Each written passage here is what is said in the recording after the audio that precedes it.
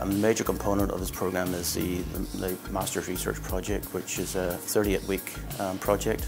All the projects are supervised by PIs, group leaders here in the centre.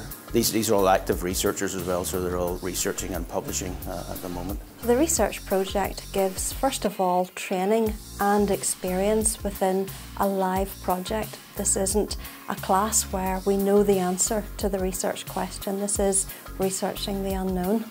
Our students are given training, one-on-one -on -one training from day one, and increasingly they work under supervision and then independently. It can be a taster for the future. Do I like life in the lab? Is this where I can see myself? Many students use it as a foundation for a PhD programme. Unique to this programme, we have uh, a module which runs the entire year long. It's uh, from concept to commercialisation. It covers a very, very broad range of, of aspects, uh, ranging right from cancer diagnosis right through to conceptual things, through to application of biomarker uh, research, uh, drug discovery research, uh, how to commercialise your, your, your product, as it were. The cancer biology module is a sort of basic fundamental taught course. We take the students through the basic genes involved in cancer, you know, what, what they do, how they go wrong. We cover things like uh, invasion, angiogenesis, kinases, mutations, that sort of thing. On top of that then we have from diagnosis to treatment. This is taken by Dr Stuart McIntosh who's a breast cancer surgeon here, here in the centre and uh, it basically covers the sort of like the patient journey, taking uh, patients right from diagnosis, treatment, um, monitoring their responses and you know if um, unfortunately it does relapse then what the types of things that we do.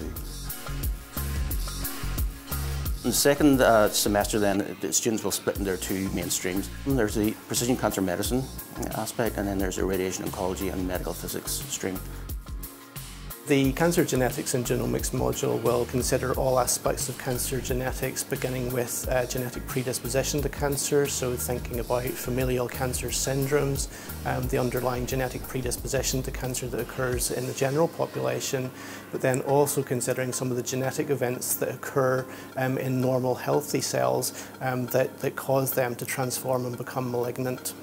And then as well as that we have the translational cancer medicine which is basically a follow-on from the cancer biology in the first semester where we're looking at the more sort of applied aspects of biology, so taking those fundamental genes that we talked about in the first semester. And then looking at in, in, terms of how can we actually use this information to actually uh, personalise treatment using state-of-the-art techniques in the lab, things like uh, next-gen sequencing, high-throughput transcriptomics, um, metabolomics, the radiation oncology and medical physics stream will consist of back-to-back -back modules delivered in semester two. The first module will focus on understanding the biology of radiotherapy, really from the fundamental interact physical interactions of radiation at the cellular, tissue and whole organism level, through to some of the more basic concepts um, that, that underpin uh, radiotherapy as a cancer treatment modality. The second taught module will really focus on some of the clinical aspects of radiation therapy, ranging from, from both tumour and normal tissue responses, and aspects of radiological imaging involved in the treatment of cancer.